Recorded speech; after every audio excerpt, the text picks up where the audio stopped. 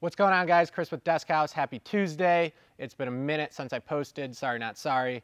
Uh, but we have something spicy for you guys. Uh, right now I'm sitting on an Apex Pro. Uh, it's a silver Apex Pro. And right to my right, your left, it might look like a silver Apex Pro, but it is not. Uh, our vendor that produces these here in Michigan for us reached out because one of the big OEMs they supported, uh, for whatever reason, brought in a ton of columns uh, just to make sure they always had enough. They are now sitting on a surplus of columns and we have negotiated basically buying the remaining amount of columns from them uh, to make some import version Apex Pros. Uh, this has never really sat well with me. You guys know pretty much we're focused on stuff made in Michigan.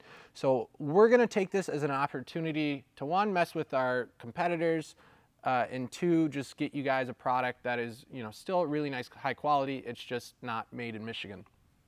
Uh, and so, since it isn't made in Michigan, I got I have to say this with an asterisk because I'll I'll explain it a little bit. We are going to sell this at cost, and the reason for the asterisk is pricing out this base. Uh, I priced everything shipping to California. So you know, if it ships from Chicago, you know, we're going to make twenty dollars on this.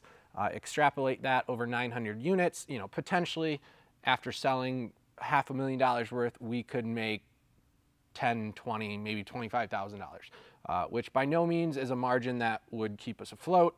Uh, but it's just something that, one, also make sure I don't mess anything up in case like, oh, hey, I didn't calculate uh, this surcharge that FedEx hit us with. I didn't calculate this. There is, you know, that potential little bit to cover us.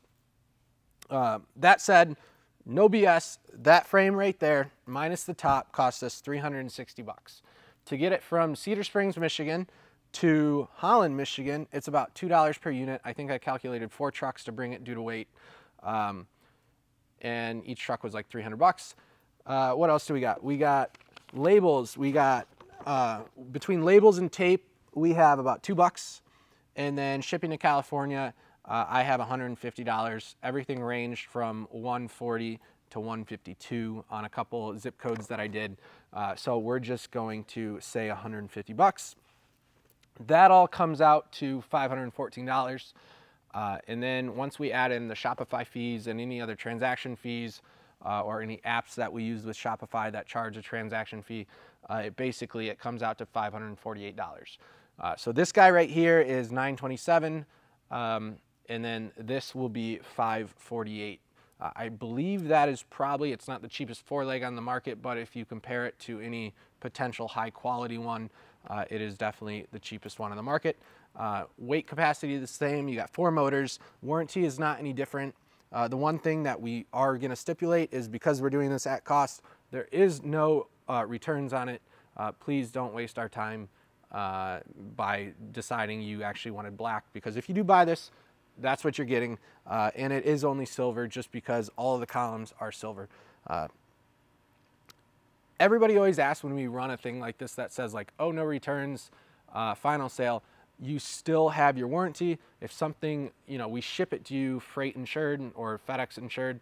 So like if it gets damaged on its way, we just file a claim and we ship you another one.